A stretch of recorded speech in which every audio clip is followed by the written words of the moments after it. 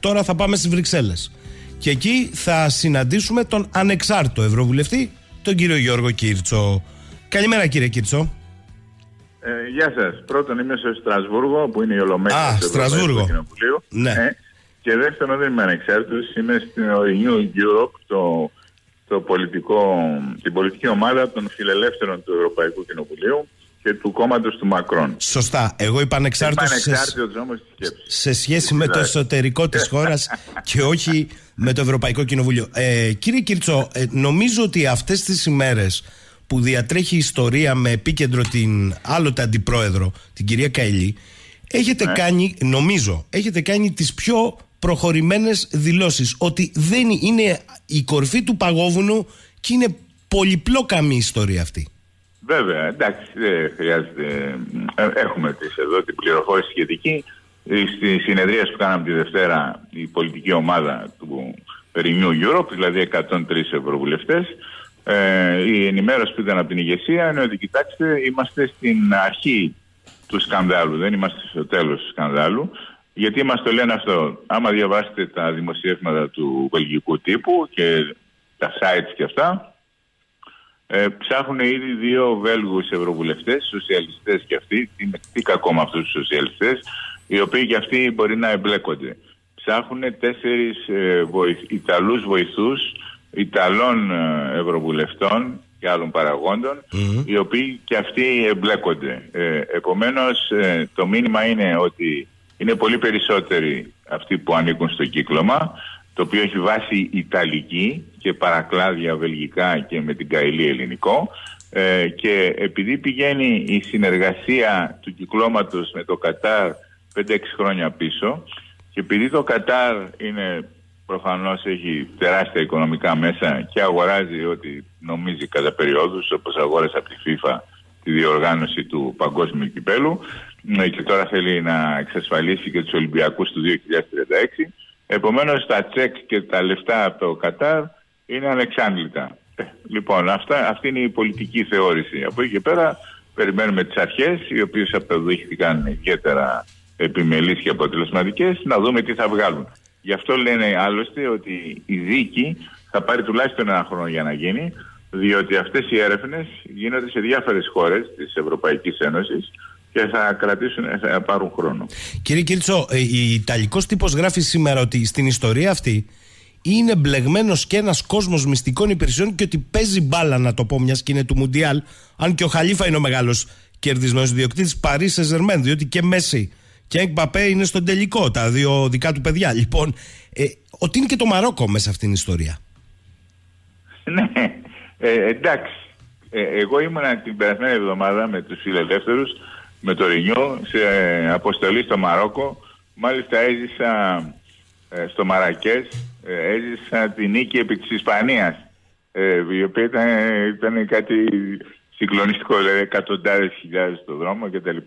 Ε, υπάρχει, ε, υπάρχει σύμφωνα με πληροφορίες που μου είπαν στο Μαρόκο, αλλά βέβαια δεν προλαβαίνω να ασχοληθώ με όλα, υπάρχει μια τάση του, της κυβέρνησης και του καθεστώτος του Μαρόκου να χρησιμοποιεί Pegasus Predator και, τα, Predator και τα λοιπά και φαίνεται ότι τα έχει χρησιμοποιήσει σε βάρος ε, Ισπανών και Γάλλων αξιωματούχων. Με, τους Ισπα... με τους Ισπανούς να το έχουν δεχθεί σε γενικές δυναμές να μην μιλάνε πολύ αλλά τον uh, Μακρόν να είναι έξαλλος με τον, με τον με τις αρχές του Μαρόκου. Αυτή είναι η πληροφόρηση που είχα στο Μαρόκο. Τώρα, με έναν τρόπο, και το έχετε πει από τους πρώτους, ε, για αρνητικούς λόγους η πατρίδα μας είναι στο επίκεντρο αυτού του ενδιαφέροντος. Ε, Βέβαια. Διότι είναι ήταν αντιπρόεδρος η κυρία Καηλή. Εδώ ε, τώρα, ε, ποια είναι ε. η φέρουσα αντίληψη που διαμορφώνεται; αυτό που το δράμα με εμάς είναι ότι η Καηλή κόλλησε πάνω σε ένα ιταλικό κύκλωμα Επομένως τώρα που σκάσε η βόμβα και βέβαια η βόμβα αναφέρεται στην Καηλή γιατί η Καηλή είχε το αξίωμα.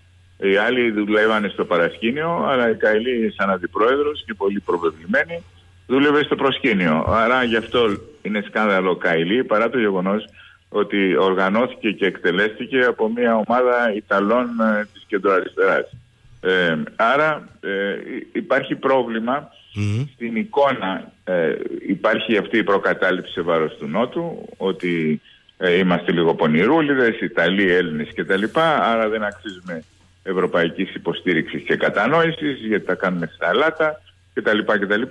Ε, αυτή τη στιγμή λοιπόν έχουμε την Ιταλική οικονομία σε αδιέξοδο, την ελληνική οικονομία σε αδιέξοδο ε, και την Καηλή με τους Ιταλούς να στέλνουν με το μήνυμα σε κάθε ενδιαφερόμενο ότι είμαστε και λίγο πονηρούλιδες, δηλαδή να ενισχύει το αρνητικό για μας στερεότυπο. Άρα η ζημιά της Καηλής ό,τι μας αφορά είναι τεράστια.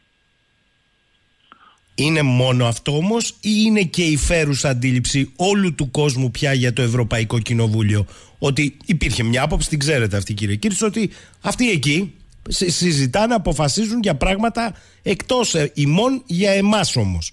Τώρα αυτό δεν ενισχύεται με την έννοια ότι ο κάθε παράνομος, νόμιμος, λομπίστας, επιχείρηση, χώρα και έτσι που μπορεί, θα το πω λαϊκά, να τα σπρώξει, θα περάσει μία ε, ε, ρύθμιση. Ε, καλά, δεν είναι και τόσο εύκολο να τα σπρώξεις και, εν πάση περιπτώσει, αν θέλουμε να παρηγορήσουμε για το δημοκρατικό μας σύστημα, να σας πω αυτό που λέμε εδώ στις συζητήσεις, ότι εντάξει, αποδείξαμε ότι υπάρχει διαφθορά στο Ευρωπαϊκό Κοινοβούλιο, αλλά εντάξει, αποδείξαμε ότι υπάρχει και κάθαρση όταν υπάρχει διαφθορά. Ε, δηλαδή, ε, το ότι κινήθηκαν αποτελεσματικά ευέλικε αρχές, αυτό είναι υπέρ του δημοκρατικού συστήματος που βασίζεται στους ελέγχους. Συμφωνώ μαζί σας πάντως ότι ε, είμαι στον ένα το χρόνο Ευρωβουλευτής και έχω παρατηρήσει ότι οι Βρυξέλλες είναι πρωτεύουσα των λόμπι. Τι σημαίνει αυτό, ότι υπάρχουν δεκάδες χιλιάδες ε, υπάλληλοι οι οποίοι ακριβώς προωθούν συμφερόντα λόμπι. Υπάλληλοι δηλαδή ξένων εταιριών, πολυεθνικών, ε, θηγατρικών πολυεθνικών, νομικών γραφείων, ε, συμβούλων, μάρκετινγκ και ιστορίες. Mm. Επομένως, δυστυχώς για την Ευρώπη έχει ακολουθήσει το αμερικανικό μοντέλο με τους λομπίστες. Ε, οι Αμερικάνοι βέβαια, επειδή είναι οι πρώτοι που ανέπτυξαν τα λόμπι, έχουν, ε, έχουν πιο καλούς κανόνες. Δηλαδή, άμα πάρεις λεφτά, πρέπει να το γράψεις. Ε, και το δέχονται. Ε, εδώ ε, στην Ευρώπη θεωρείται ότι δεν πρέπει να παίρνεις λεφτά, αλλά, άρα δεν γράφεται ποτέ, αλλά μπορεί και να παίρνεις, όπως αποδείχθηκε με την περίπτωση της κυρίας Καϊλή. Άρα συμφωνώ ότι αυτά που συμβαίνουν μεγαλώνουν την απόσταση μεταξύ του Ευρωπαϊκού Κοινοβουλίου και των Ευρωπαϊκών Θεσμών και των Ευρωπαίων πολιτών. Και συμβαίνουν δε σε μια πολύ κακή περίοδο, γιατί δεν είμαστε σε περίοδο παχιών αγελάδων που όλα επιτρέπονται και όλα είναι χαλαροί και όλοι είναι χαλαροί. Είμαστε σε περίοδο που ο κόσμος ζορίζεται, ενεργειακό, τρέχει να πληρώσει το λογαριασμό, ακρίβεια, αβεβαιότητα με τον, πόλεμο, ε, τον επιθετικό πόλεμο της Ρωσίας στην Ουκρανία, δεν αντέχει τις πιέσεις η Ευρωπαϊκή Ένωση, δεν μπορεί τον ανταγωνισμό με την Κίνα, δεν τα καταφέρει με τους Αμερικάνους και αφού τέλος πάντων έχεις αυτή την εικόνα της αναποτελεσματικότητας και της απόστασης από τις πραγματικές ανάγκες των πολιτών, έρχονται και οι βαλίτσες της Καηλή και του Μπαμπά να διαλύσουν την εικόνα. Συμφωνώ μαζί σας. Κοιτάξτε τώρα, επειδή έχω πολλά ερωτήματα, καταρχάς να πω την είδηση. Το αεροπλάνο που έπεσε είναι μόνο κινητήριο, καινούριο ε, ξένοι, ξένων ε, σημάτων. Απογειώθηκε από τον Ε9, μου λένε εδώ. Επέβαιναν δύο άτομα. Έχει πέσει στη θάλασσα στο ύψος του Κακουόρου. Α ελπίσουμε η, η, η διαδικασία έρευνας και διάσωσης να τους έχει ζωντανούς. Τώρα, κύριε Κίτσο, επειδή έχω εδώ πολλές παρεμβάσεις, καταρχάς ε, θέλει να παρέμβει ο ειδικός εμπειρογνώμονας σε θέματα υπηρεσιών, ο κύριος Πικραμένος, για μια είδηση επί του πιεστηρίου. Ναι, κύριε Πικραμένε, καλημέρα. Καλημέρα σε εσάς και καλημέρα και στον κύριο Κίρτσο. Ναι. Ε, συμφωνώ με όσα λέει ο κύριος ε, Κίρτσος, αλλά ίσως πρέπει να βάλουμε τα πράγματα στη σειρά. Με ποια έννοια; Ότι με βάση τα δεδομένα που έχουν μέχρι τώρα δει το φως της ε, δημοσιότητας, βλέπουμε ότι όλη αυτή η διαδικασία από τον Ιούλιο και μετά αλλά και πριν τον Ιούλιο όταν έφτασε το πρώτο σήμα στην Βελγική Υπηρεσία Πληροφοριών δείχνει και θέλω και την άποψη του κυρίου Κίρτσου διότι είναι μέλος του Ευρωκοινοβουλίου γιατί όλη αυτή η διαδικασία δεν ξεκίνησε από την ΟΛΑΦ.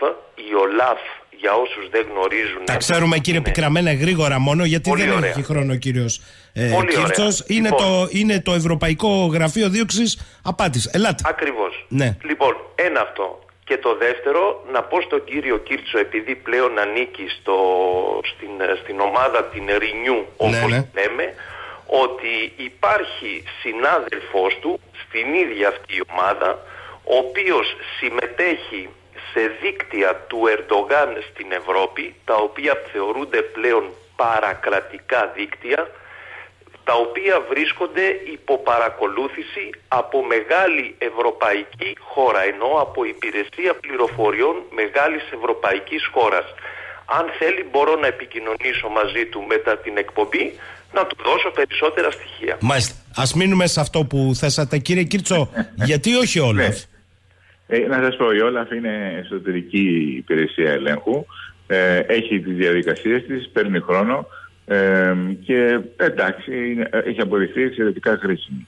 Αλλά νομίζω ότι το Βέλγιο έχει μεγαλύτερη εμπειρία σε αυτά τα ζητήματα και ότι κινήθηκε έτσι με ε, δυναμικό τρόπο, δηλαδή παρακολουθούσαν, μπήκαν όλοι μαζί συντονισμένα, ε, τους ε, ακολουθούσαν όλες τις διαδικασίες ώστε να, να υπάρχει το αυτόφορο και να μην ισχύει το, η ασυλία της Καηλή. Επομένως, ε, καμία αντίρρηση, η Όλαφ ε, κάνει χρήσιμη δουλειά, αλλά η Βέλγοι σε αυτή τη φάση είναι πιο αποτελεσματική και θα έλεγα και πιο σκληρή.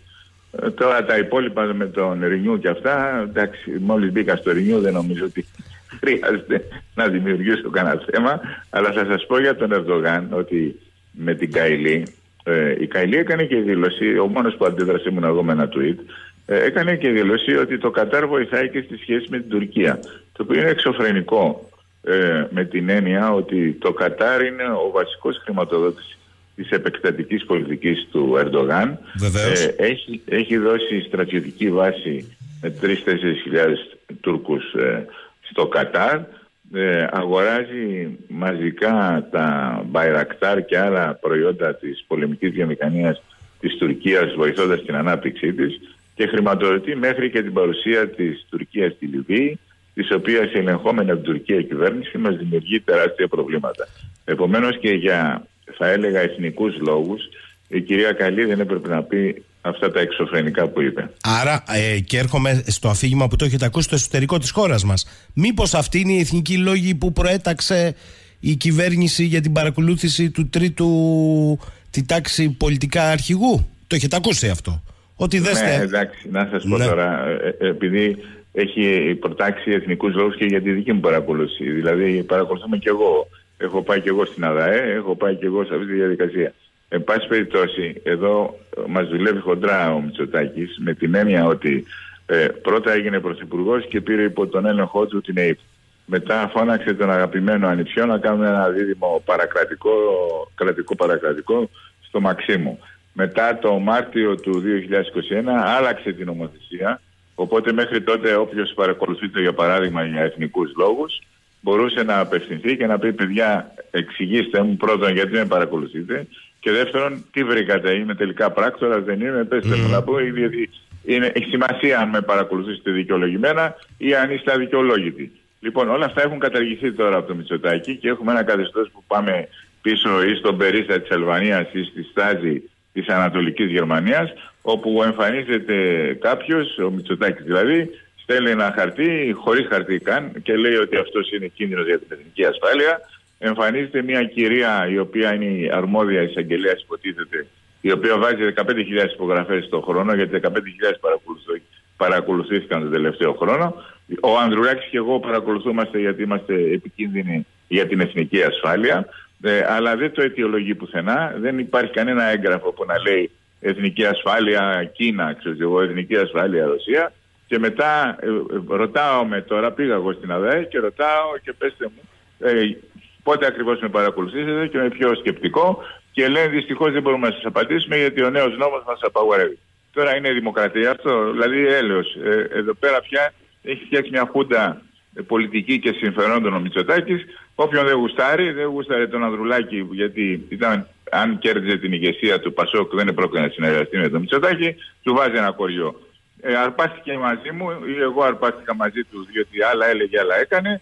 Ε, μου βάζει και με ένα κοριό. Και δεν υπάρχει κανείς να μας εξηγήσει γιατί, ποιο είναι το αποτέλεσμα και με ποιο δικαίωμα. Λοιπόν, αυτό είναι πια πολύ χοντρό και μπορεί, όπως χαρακτηριστικά λέω, αυτός να δήλωσε έξι μηνών αντιστασιακό στη δήλωση, αλλά επειδή εγώ ήμουν στο φοιτητικό κίνημα, το πραγματικό φοιτητικό κίνημα κατά της δικτατορίας, στο τέλος του του δημόσιου βίου μου αποκλείεται να ανεχθώ τι χουντομεθόδου του Μητσοτάκη. Λέει εδώ άλλος φίλος Ακροατής, καλημέρα στον κύριο Κίρτσο. Ζήσεις. Και η Ουκρανία, κύριε Κίρτσο, είναι βασικός τροφοδότης κινητήρων για τους πυράβλους της Τουρκίας που θα πέσουν στα κεφάλια των παιδιών μας. Δεν θα έπρεπε κάτι να κάνετε κι εσείς προσωπικά και το Ευρωπαϊκό Κοινοβούλιο. Το έχετε θίξει, λέει αυτό ποτέ; Ε, κοιτάξτε τώρα, ε, εμείς εχθές ε, δώσαμε το βραβείο Ζαχάροφ στην Ουκρανία ε, και στο λαό της και στην ηγεσία της για την αντίσταση κατά της ρωσικής εισβολής. Όντως υπάρχουν διάφορα ζητήματα. Ε, ε, για παράδειγμα, δεν φτάνει που η Τουρκία δεν εφαρμόζει τις κυρώσεις σε βάρος της Ρωσίας, αλλά έχει και, επιβάλλει και ένα ρόλο μεσολαβητή, τον οποίο αποδέχεται ευχαρίστως και η Ουκρανία, η οποία χρησιμοποιεί τα Bayraktar της Τουρκίας, τα drones δηλαδή, ε, τα αποδέχεται και η Ρωσία. Άρα μπορούμε να πούμε ότι ακόμα και το Ουκρανικό που είναι μια ιερή υπόθεση ότι αμήνονται οι Ουκρανοί εναντίον ενός επιτιθέμενου, ο οποίος αν δεν σταματήσει στην Ουκρανία, μετά θα έρθει εμάς. Αυτό, αυτό πρέπει να καταλάβουμε στην Ελλάδα, ότι αν δεν τους σταματήσουν οι Ουκρανοί, μετά θα πάνε λίγο Μολδαβία, μετά θα πάνε λίγο Λιθουανία και Εστονία, που είναι και μέλη του ΝΑΤΟ, άρα ουσιαστικά δεν μπορεί να φτάσουν και στην Πολωνία. Ε, ε, ε, Επομένως, αντιλαμβάνουμε αυτό που θέλει να πει, ότι δεν υπάρχει κανένας πόλεμος που είναι 100% καθαρός. Τα ίδια είχαμε και στο δεύτερο παγκόσμιο. Αλλά μην χάνουμε τη γενική εικόνα, που η γενική εικόνα είναι ότι οι Ουκρανοί αμήνονται ηρωικά και αξίζει να τους ε, στηρίξουμε, διότι αν δεν σταματήσουν οι Ρώσοι, θα συνεχίσουν. Ε, Άλλος φίλος εδώ, ο κύριος Κίρτσος επί τρεις μέρες λέει ότι η βεντάλια των ερευνών πρέπει να φτάσει μέχρι τον κύριο Σχοινά. Γιατί; Ε, δεν είπα για έρευνες εγώ για το Σχοινά. Εγώ είπα ότι ο Σχοινά πρέπει να παραιτηθεί. Να παραιτηθεί; Ε, να παραιτηθεί, ναι. Γιατί ο Σχοινά είναι ε, αντιπρόεδρος της Ευρωπαϊκής Επιτροπής αρμόδιος για τον λεγόμενο ευρωπαϊκό τρόπο ζωής. Δηλαδή ανθρώπινα και δημοκρατικά δικαιώματα, δικαιώματα εργαζομένων, κράτος δικαίου κτλ. Βλέπουμε λοιπόν ότι ο Μητσοτάκης παρακολουθεί τον, ε, τον Ανδρουλάκη, παρακολουθεί και εμένα, δηλαδή δύο ευρωβουλευτές, έχουμε και θεσμικό ρόλο ε, και ο Σχοινάς σφυρίζει αδιάφορα. Δηλαδή, αντί να υπερασπίζεται τον ευρωπαϊκό τρόπο ζωής, ε, ε, υπερασπίζεται τη λειτουργία του Μαξίμου με τον Μητσοτάκη και τον Δημητριάδη. Περί αυτού πρόκειται. Ε, έμεσα βέβαια, αλλά αυτό κάνει στην ουσία, γιατί δεν παρεμβαίνει.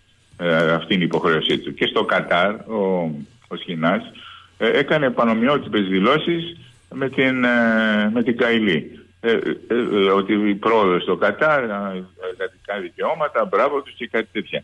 Μα εντάξει, δεν είπαμε να καταγγείλει το Κατάρ την ώρα που ξεκινάει το παγκόσμιο κύπελο. Καταλαβαίνω πέντε πράγματα από διπλωματία. Αλλά δεν μπορείς και να υμνείς το Κατάρ όταν υπάρχει θέμα, για παράδειγμα, ότι σκοτώθηκαν 6.500 επειδή ήταν προβληματικές οι καλοσχέσεις ή τους βάζαν να δουλεύουν με 50 βαθμούς το καλοκαίρι το μεσημέρι και δεν άντεχαν οι άνθρωποι, περισσότεροι από Ινδία και Μπαγκλαντές.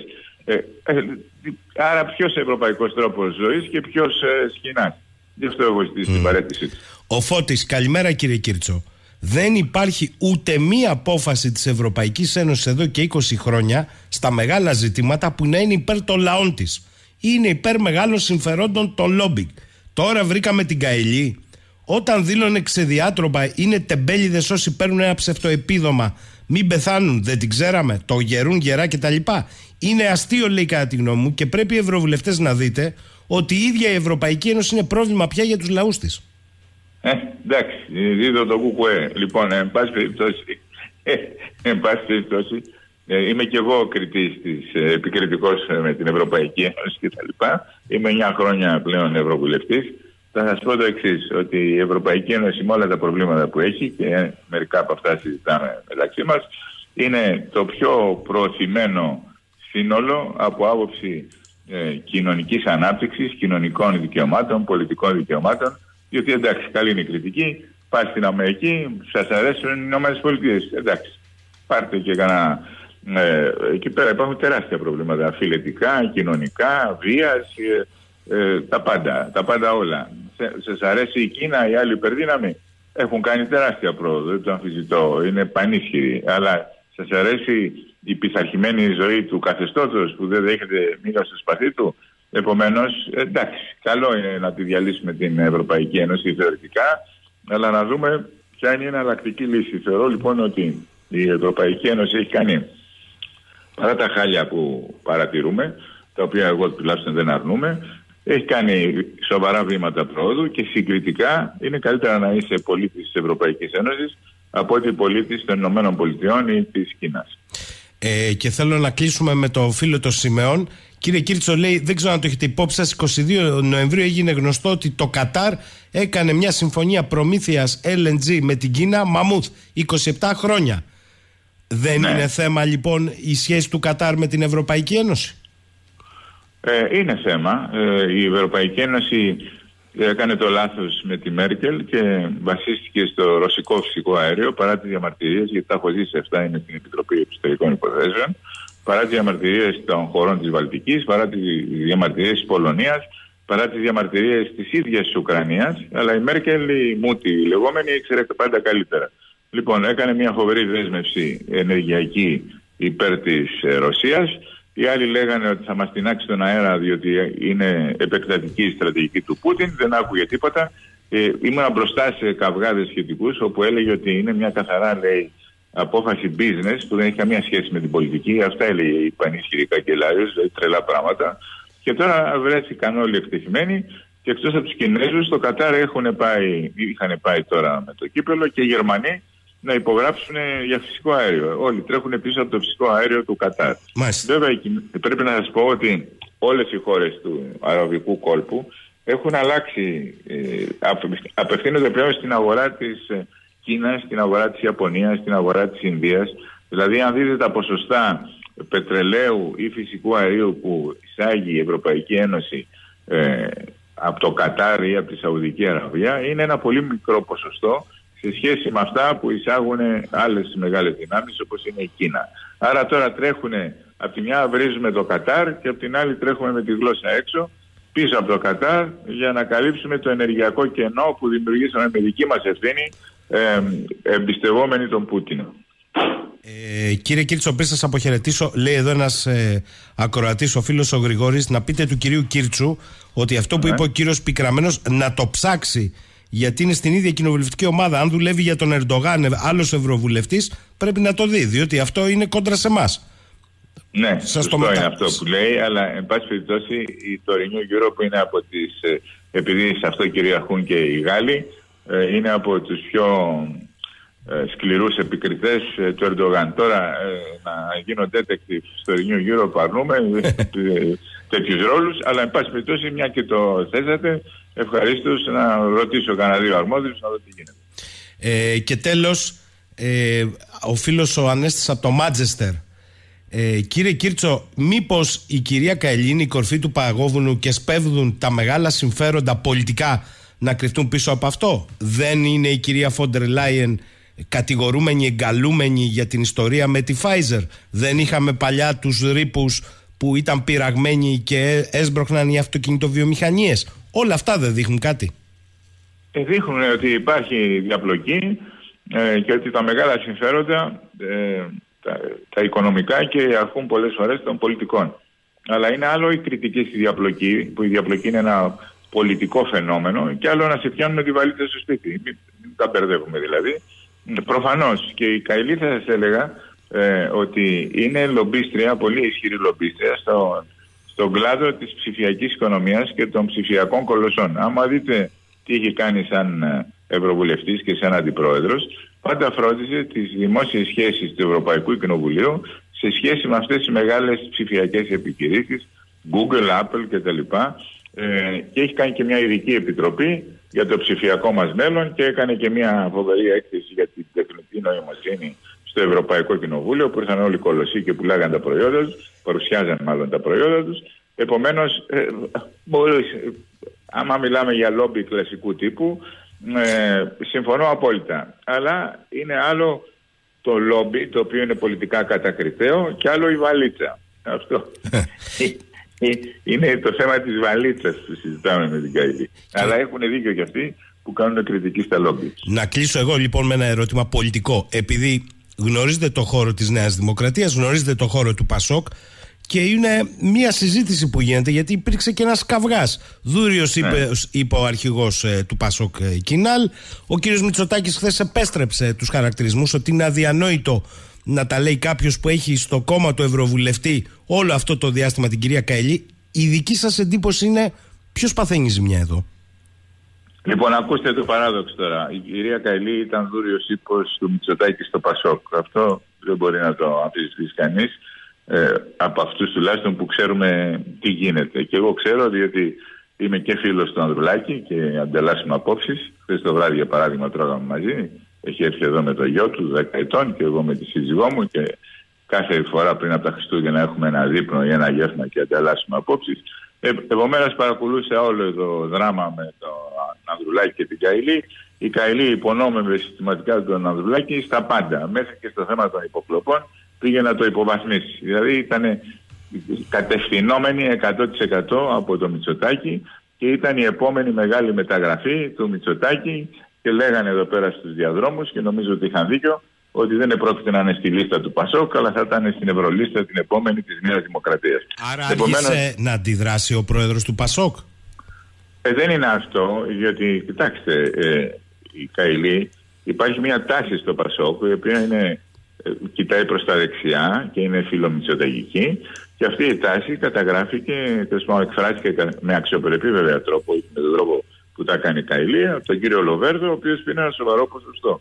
Άρα ο νέος ηγέτης του Πασόκ ξέρει ότι το κίνημά του έχει αριστερόστρεφους, έχει κεντροαριστερούς και έχει και κάποιους και πολλούς μάλιστα δεξιόστρεφους. Ε, άρα προσπαθούσε να απομονώσει την Καηλή ε, και το είχε καταφέρει σε μεγάλο βαθμό γιατί την είχε απαξιώσει πολιτικά ε, και να δει τι θα κάνει ώστε να διατηρήσει την ενότητα του χώρου χωρίς να υποταχθεί στη Νέα Δημοκρατία και χωρίς να υποταχθεί στο ΣΥΡΙΖΑ. Η αυτόνομη πορεία που περιγράφει ο ίδιος.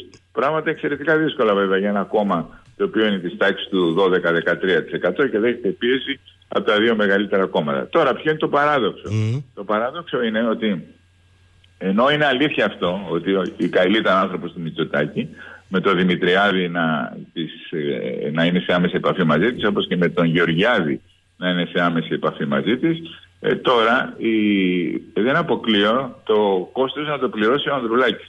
Όχι επειδή φταίει ο Ανδρουλάκης, αλλά επειδή η Καηλή είναι, ξέρω εγώ, ένας βοητευτικός Τσοχατζόπουλος. Επομένως ο κόσμος, ε, ο οποίος υποπτεύει το Πασόκ ότι εντάξει είναι λαϊκό κίνημα, έχει προσφέρει εσύ ιστορίες, συμφιλίωση, εθνική αντίσταση, αλλά βαρύνεται και με τρελές κομπίνες. Επομένως, από εκεί που είχαν καταπιέσει την ανάμνηση του Τσοχατζόπουλου, εμφανίζεται τώρα η Καηλή, η νέα γενιά, με τη βαλίτσα στο χέρι. Ε, αυτό μπορεί να, μπορεί να κοστίσει στον, ε, στο Πασόκ, ανεξάρτητα από το τι έκανε ο Ανδρουλάκης με την Καηλή. Γιώργος Κίρτσος, θέλω να τον ευχαριστήσω και για τις απαντήσεις του ακροατές. Καλή σας ημέρα. Να με πάρετε βοηθό εκεί πέρα, θα περάσουμε καλά. να είστε καλά, κύριε Κυρσό. δεν δεν μας παίρνετε εσείς εκεί βοηθό με τους μισθούς που έχουν. Ε, τώρα με αυτά που ακούσατε θα έρθετε και θα έχετε φοβερές Λοιπόν, καλημέρα, καλημέρα. λοιπόν, λοιπόν μας κάνουν και πλάκα εδώ, καταλάβατε. Σε λίγο θα βγουν ότι ε, έχουν και χρωστούμενα.